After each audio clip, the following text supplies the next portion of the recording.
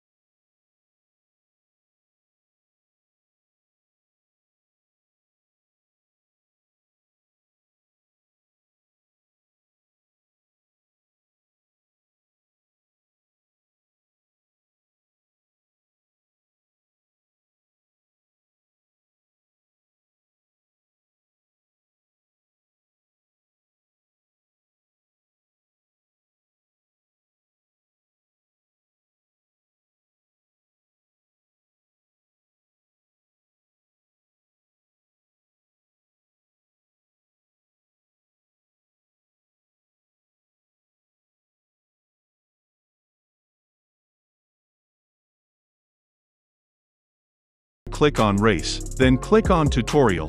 Now you have to wait a few seconds, finally open your menu and go to Choose Character. In the character menu delete your female character on the right side and go back to story mode.